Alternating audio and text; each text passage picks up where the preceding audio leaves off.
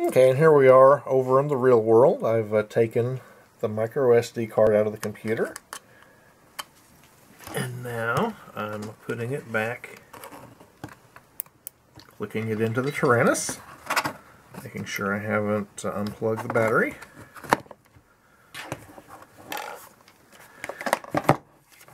And let's see if we've got uh, those sounds.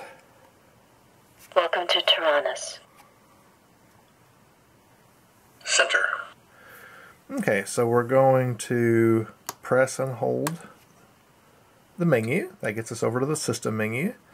And page, there's our SD card. We go to sounds. We go to English.